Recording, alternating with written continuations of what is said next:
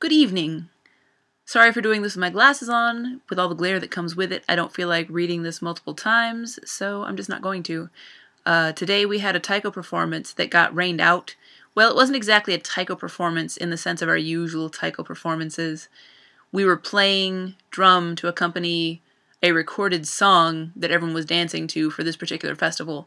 In the middle of August, they have what's called Obon, I'm not really sure what it is with Obon. I asked someone about it today, and he said something about someone coming down from heaven or something like that.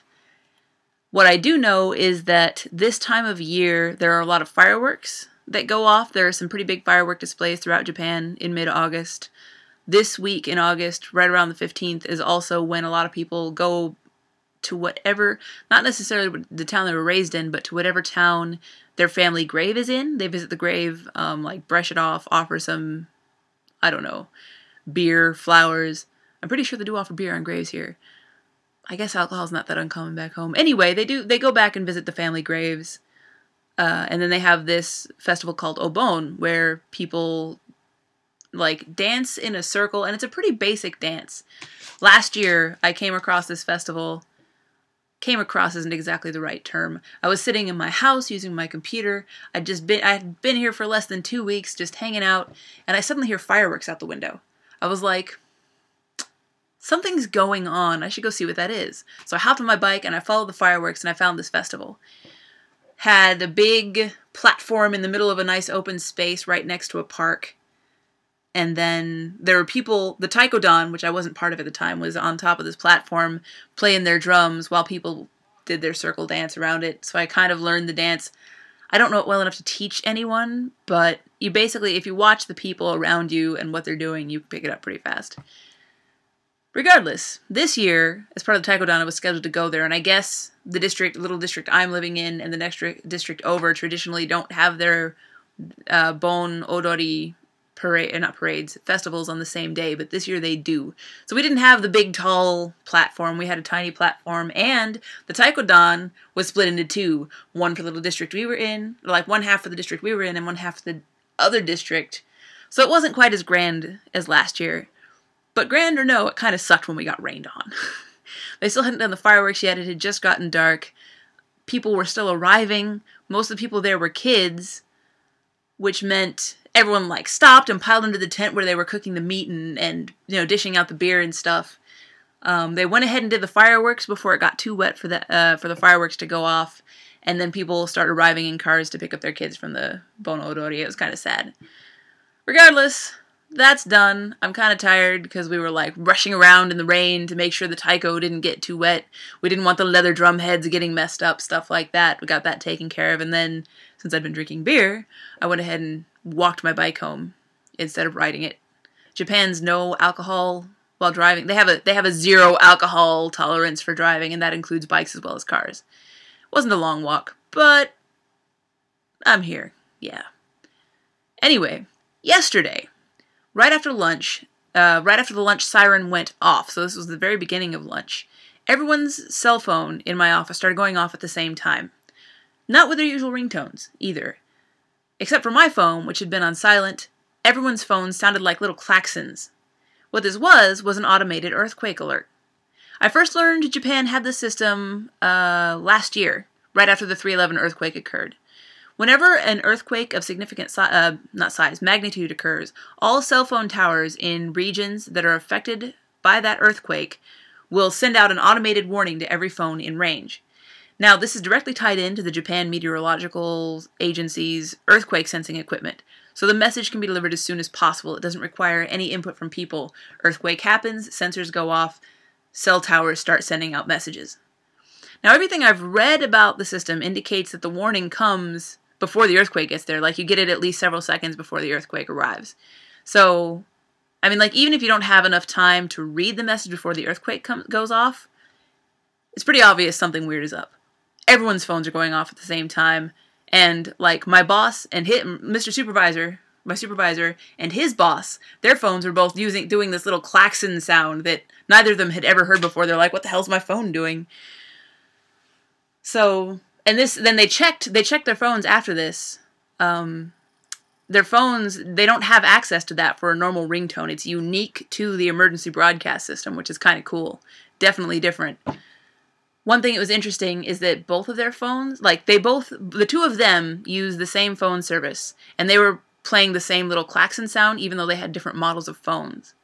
My phone had been on silent, and it didn't have klaxons. It just started buzzing, like it normally does when I get a text. Anyway, it's really obvious when the phones go off for an earthquake alert.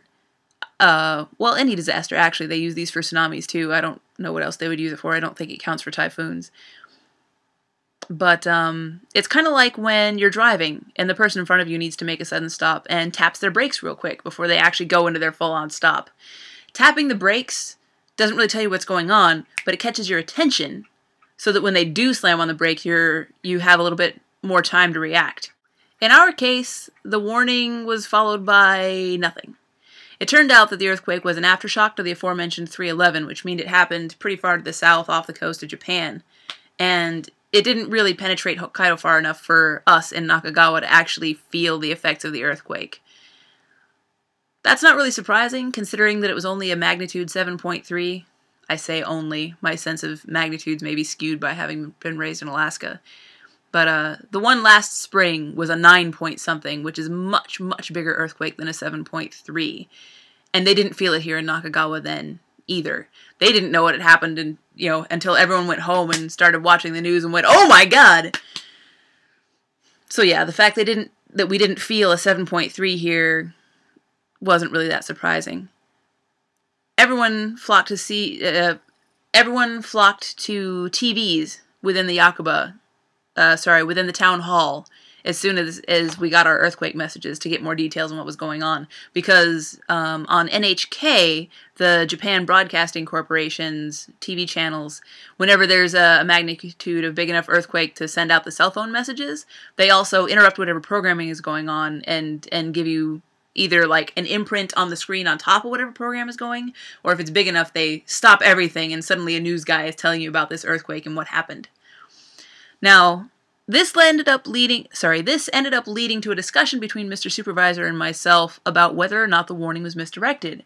The region we're in is called Dohoku, and the message we got said that this emergency earthquake message was sent out to the entire Dohoku region.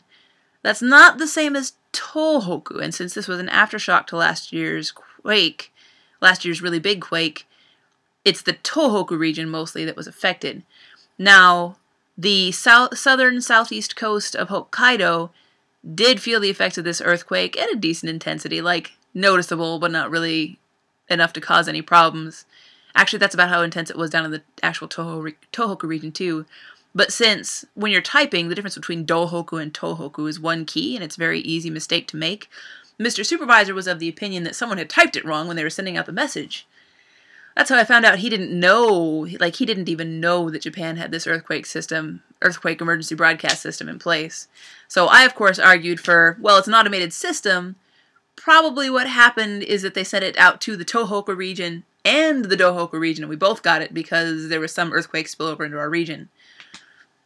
He was like, mm, I don't know. I guess he doesn't trust that technology stuff, which doesn't surprise me he's old enough to be my dad, and in Japan, people who are old enough to be my dad are not really technologically savvy. It's kind of sad. I've probably taught him more about Excel than he knew before I got here a year ago.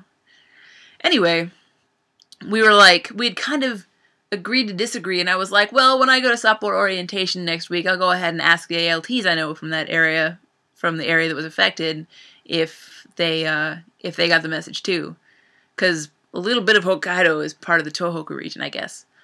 But then someone randomly come al- came along right after I said that and was like, "Oh hey, turns out we got it and they got it." So it was kind of like, "Ha victory for Lena." Anyway, there you have it. Uh, got rained out today for a Matsuri, which kind of sucked, and I've experienced the Japanese emergency broadcast system. Too bad it wasn't only a test.